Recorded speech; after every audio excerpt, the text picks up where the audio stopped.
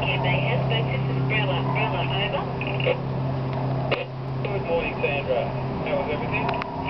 We had a lovely night here in over.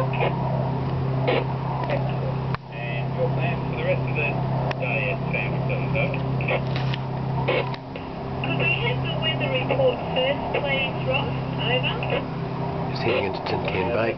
Still our last uh, March, quite tricky navigation in and out of some parts of these waters. Very shallow. 10 15 on Friday afternoon. Wednesday, southwest